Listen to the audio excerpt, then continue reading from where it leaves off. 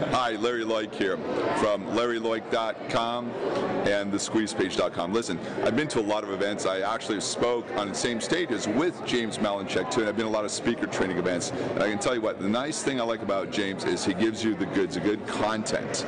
It's not fluff, it's good stuff that's applicable in today's marketing.